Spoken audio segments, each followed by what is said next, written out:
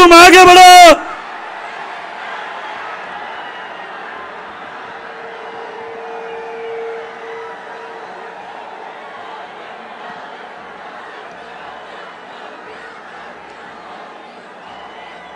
भारत माता की। भारत माता की। नांदेड आणि महाराष्ट्राच्या सर्व बंधू भगिनींना गुढीपाडवाच्या खूप खूप शुभेच्छा.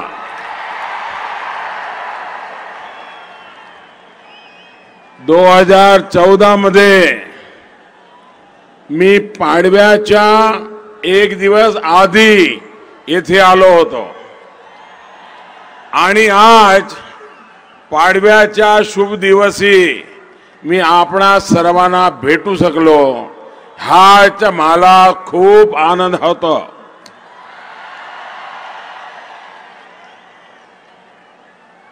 मंच पर विराजमान,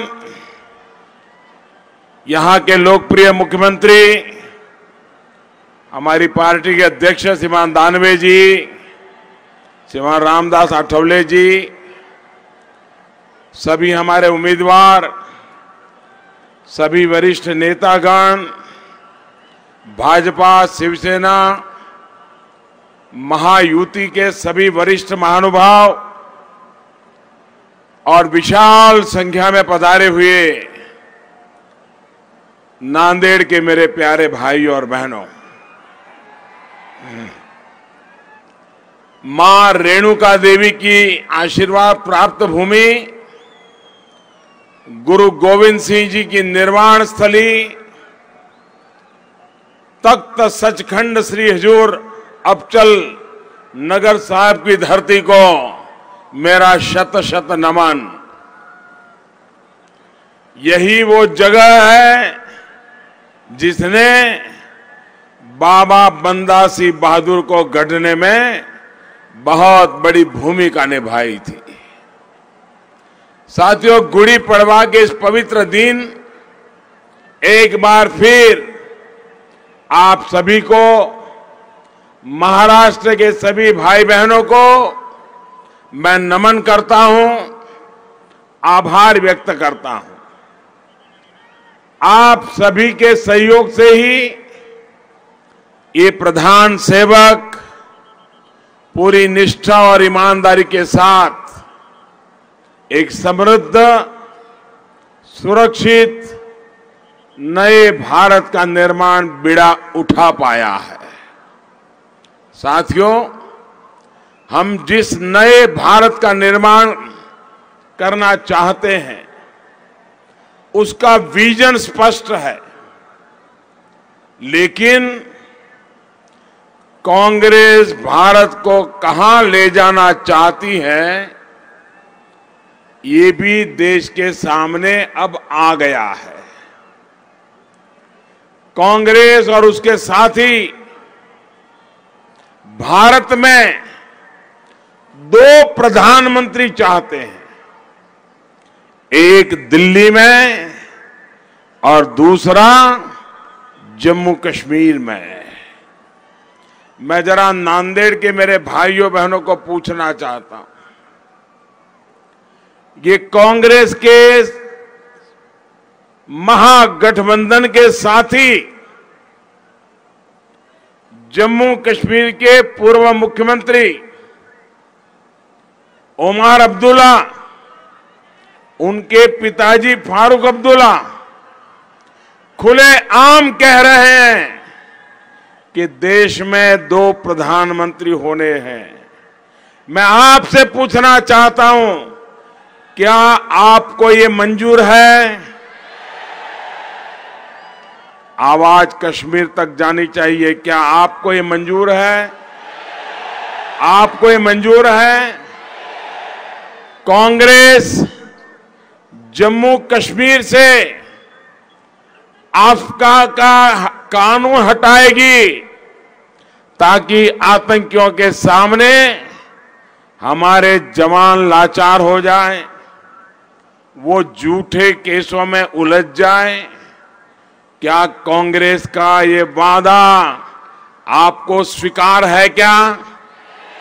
किसी हिंदुस्तानी को स्वीकार हो सकता है? देश का कोई वीर जवान इसको स्वीकार कर सकता है? कांग्रेस पाकिस्तान से पैसे लेकर देश में अलगाव पैदा करने वालों से बातचीत करना चाहती है। क्या ऐसी बातचीत आपको मंजूर है? क्या कांग्रेस पाप कर रही है कि नहीं कर रही है? कांग्रेस भारत के टुकड़े टुकड़े चाहने वाले देशद्रोहियों से जुड़े कानून को हटाकर उनको खुला लाइसेंस देना चाहती है। क्या नांदेड़ को महाराष्ट्र को ये देशद्रोह का कानून हटाना मंजूर है क्या? मंजूर है क्या? भाइयों और बहनों, कांग्रेस ने जो ये डकोसला पत्र बनाया है, इसकी नींव तो उसी दिन पड़ गई थी, जब सर्जिकल स्ट्राइक को लेकर इन्होंने देश के वीर जवानों के सामने सवाल उठाए थे। जब एयर स्ट्राइक के इन्होंने सबूत मांगे थे, जब 21 पार्टियों की महामिलावट ने मोदी के खिलाफ निंदा प्रस्ताव पारित किया था, साथियों, ये अजब स्थिति है। आज देश में जो हालात है चाहे वो कश्मीर के हालात हो, आतंकवाद हो, नक्सलवाद हो, अलगाववाद हो, ये आग कांग्रेस की लगाई हुई आग है। एनडीए की सरकार उसको बुझाने में जुटी है, लेकिन कांग्रेस और उसके महामिलावटी साथी उस आग को और भड़काने के लिए साजिशें रच रहे हैं। साथियों, आतंकवादी नहीं, देश में भ्रष्टाचार को बढ़ाने वाली और उसे पालने पोसने वाली भी कांग्रेस ही रही है। विशेष तौर पर सेना से जुड़े, देश की सुरक्षा से जुड़े काम में मिलने वाली दलाली को इनको खासी पसंद है। जितना बड़ा सौदा, उतनी ज़्यादा मलाई। जीप घोटाले से लेकर, बफोर से लेकर, हेलीकॉप्टर की दलाली तक, इन्होंने बहुत खूब झंडे गाड़े हैं। भाई और बहनों, इटली के जिस मिशेल मामा को नामदारों ने भगा दिया था। उसको और उसके दूसरे साथियों को ये चौकीदार दुबई से उठाकर लाया है। अब कोर्ट में जो आरोप पत्र दायर किया गया है, उसमें उसने साफ़ साफ़ बताया है कि हेलीकॉप्टर की दलाली किसने खाई? सोचिए, एक परिवार, एक बेटा, एक दरबारी, तमाम राजदार और एक मामा। भाइयों और बहनों 2014 में आपके एक वोट ने इन सबको कटघरे में ला करके खड़ा कर दिया है।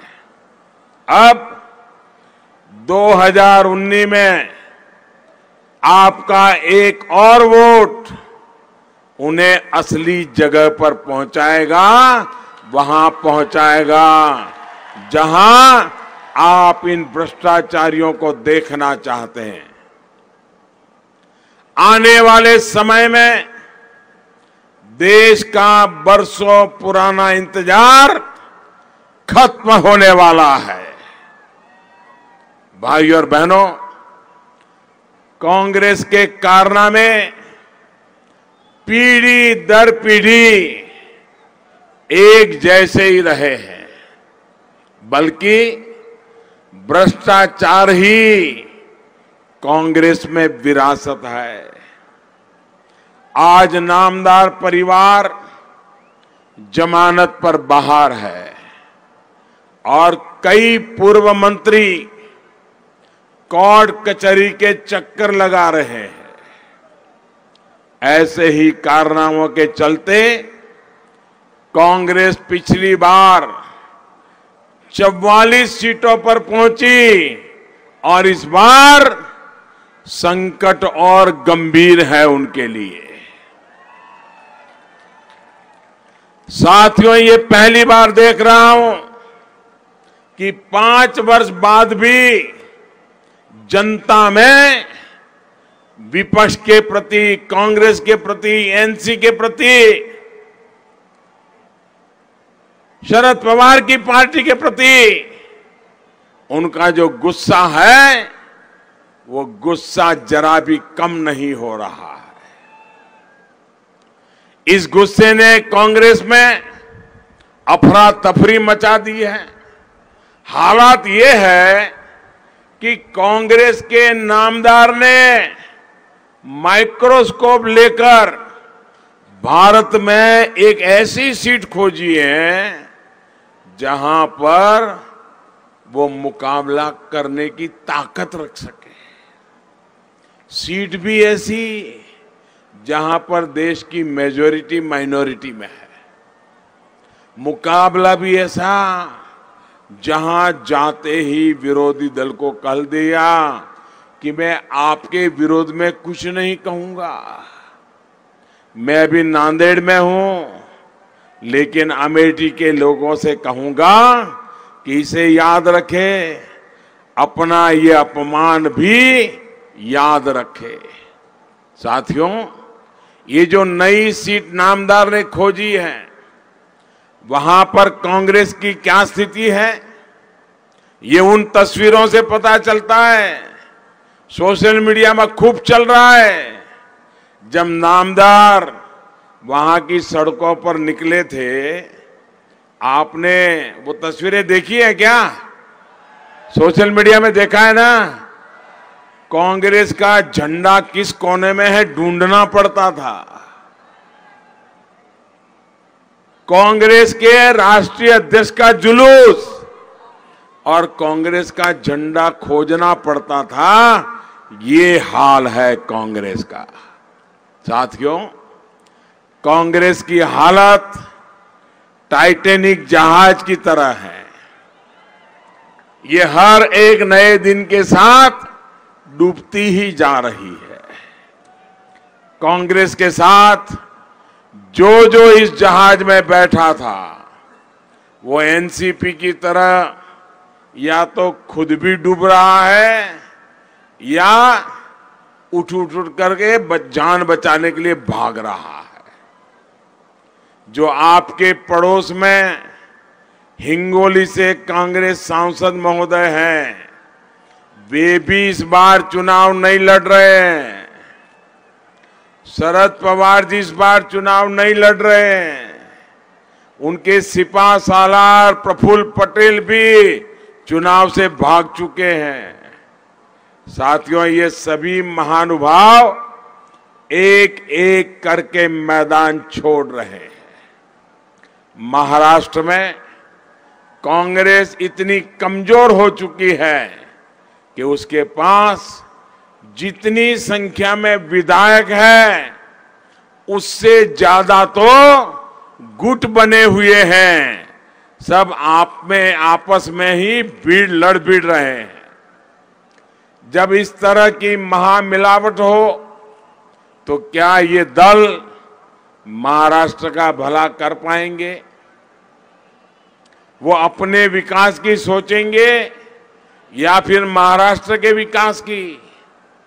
यहाँ महाराष्ट्र में इन लोगों ने किस तरह एक आदर्श सोसाइटी बनाने की कोशिश की थी, शहीदों के परिवार को धोखा दिया था, इससे तो नांदेड़ और पूरा भारत भली भांति परिचित है। आप जानते हैं ना, वो कौन है? पता है? इस तरह के घोटालों पर नज़र रखने के लिए ही हमारी सरकार ने रेरा कानून बनाया है। एक ऐसा कानून जिसकी वजह से घर खरीदने वालों की कमाई सुरक्षित हुई है, उनकी बचत सुरक्षित हुई है। देश भर में हज़ारों प्रोजेक्ट अब रेरा कानून से रजिस्टर्ड है। और पहले जिस तरह से काले धन का खेल होता था, वो भी कम हुआ है। इसका बहुत बड़ा फ़ायदा हुआ है मध्यम वर्ग को, नौजवानों को। साथियों, एनडीए सरकार ने पाँच लाख रुपए तक की आय पर इनकम टैक्स ज़ीरो करने का जो निर्णय लिया है, वो भी नौजवानों के लिए बड़े फ़ायदे लेकर आया है। घर खर्च के लिए, अपने कार्यों के लिए, अब उनके पास ज़्यादा पैसे बच रहे हैं। लेकिन मैं देश के नौजवानों को, मध्यम वर्ग को, कांग्रेस की साजिश से फिर से आगाह करना चाहता हूँ। कांग्रेस ने साफ़ कर दिया है कि वो देश के मध्यम वर्ग को स्वार्थी मानते हैं, लालची मानते हैं। इसलिए वो मध्यम वर्ग पर टैक्स का बड़ा बोझ डालने का इरादा रखती है। इतना टैक्स कि मध्यम वर्ग की कमर टूट जाए। भाइयों बहनों, आज मैं अनुभव से कह सकता हूँ, अगर देश को चलाने में सबसे बड़ी ताकत कहीं से मिलती है तो मध्यम वर्गीय परिवारों से मिलती है। वो कायदे कानून का पालन करते हैं, वे सरकारी खजाने में अपने से जो भी बचता है देते हैं, और इसी से देश चलता है। ये कांग्रेस पार्टी मध्यम वर्ग को अपना दुश्मन मानती है। आप हैरान हो जाएँगे। अभी कांग्रेस का एक डकोसला पत्र आया है। पचास पचपन पन्नों का डकोसला पत्र आया है। आने वाले पाँच साल में उनके क्या मंसूबे हैं, उसका सारा उसमें लिखान है।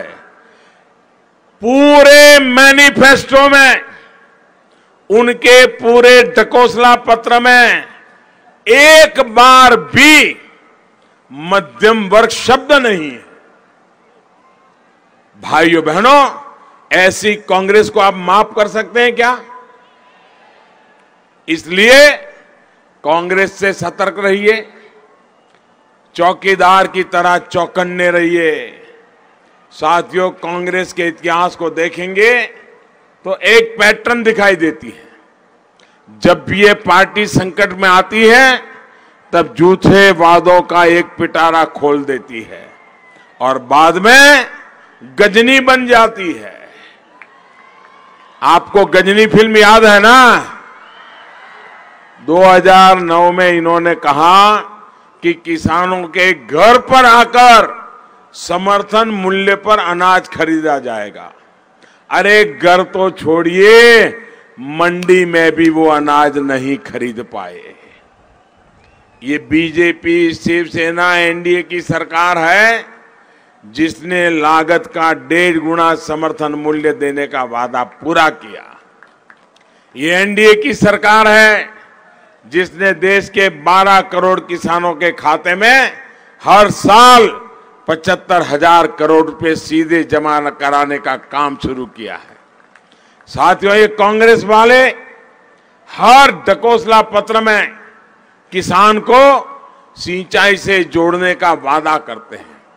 लेकिन इनकी लटकाई निन्यानवे बड़ी सिंचाई परियोजनाओं को हमारी सरकार तेज़ी से पूरा कर रही है। इन्होंने गरीबों को आरक्षण देने का भी वादा किया था, लेकिन उसके बाद फिर गजनी हो गए। सामान्य वर्ग के गरीबों को 10 प्रतिशत आरक्षण देने का काम किया तो ये चौकीदार ने किया, वो भी बाकी किसी भी वर्ग का हक छीने बना कोई भी छेड़छाड़ किए बिना किसी के हक को छुए बिना सारे समाज में प्रेम और सद्भाव का, का वातावरण बनाए रखते हुए इतना बड़ा फैसला हमने कर लिया। भाई और बहनों कांग्रेस अपने वोट बैंक के लिए ही काम करती है और चौकीदार की सरकार सबका साथ, सबका विकास के लिए काम करती है। ओबीसी कमीशन को संविधानिक दर्जा देने का काम कांग्रेस नहीं कर पाई। आपके चौकीदार की सरकार ने उस काम को भी पूरा किया। इसी तरह बंजारा समाज को कभी कांग्रेस ने याद नहीं किया। एनडीए की महायुति की सरकार ने ही इस वर्ष के बजट में गुमंतु समुदाय के लिए पहली बार वेलफेयर डेवलपमेंट बोर्ड बनाने का फैसला किया है।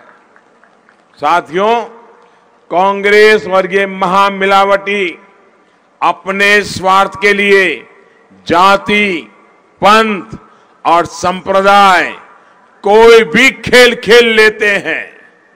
कर्नाटक चुनाव के दौरान सिर्फ़ वोट के लिए इन्होंने लिंगायत समाज के साथ क्या किया? ये हम भूले नहीं है। पवित्र करतारपुर साहब कॉरिडोर के साथ इन्होंने क्या सियासत की? ये भी आप भली भांति जानते हैं।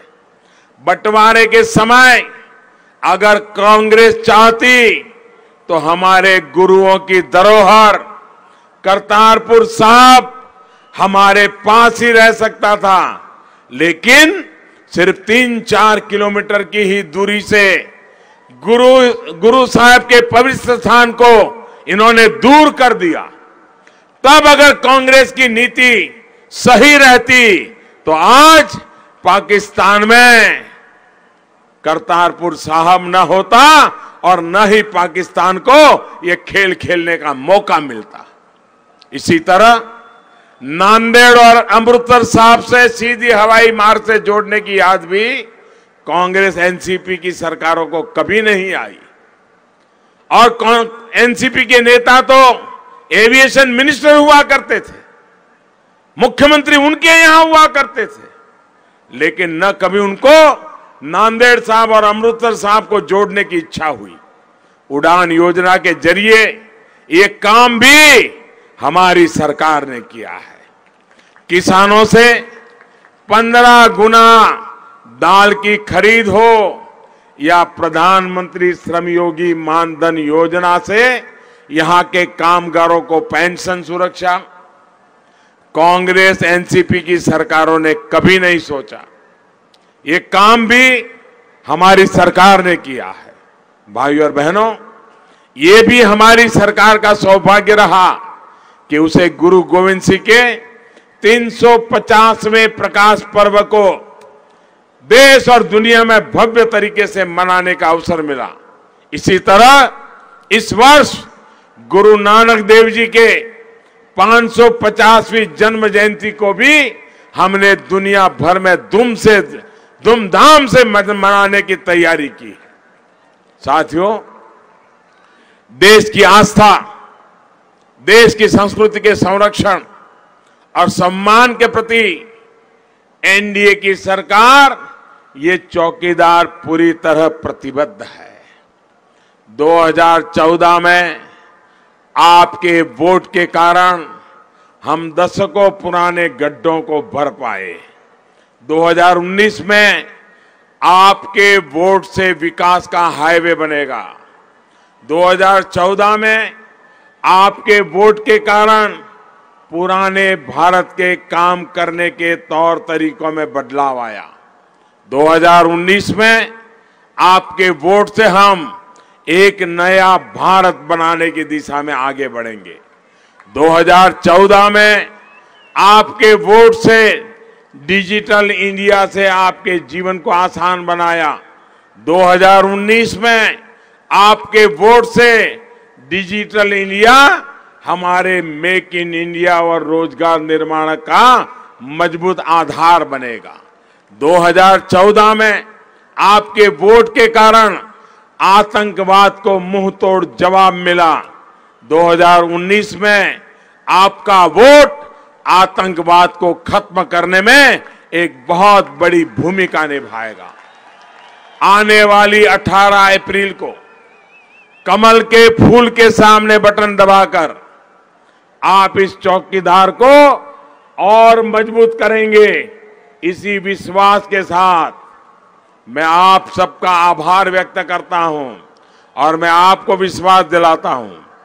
आप जब कमल के फूल पर बटन दबाएँगे तो आपका वोट सीधा सीधा मोदी को मिलने वाला है। आपका वोट सीधा सीधा मुझे मिलने वाला है। और इसलिए, भाइयों बहनों, आज अब इतनी बड़ी तादाद में आप हमें आशीर्वाद देने के लिए आए हैं। मैं आपका आभार व्यक्त करता हूँ। मेरे साथ बोलिए, बोलेंगे? बोलेंगे? मैं कहूँगा, मैं भी। आप कहेंगे, चौकीदार। मैं भी।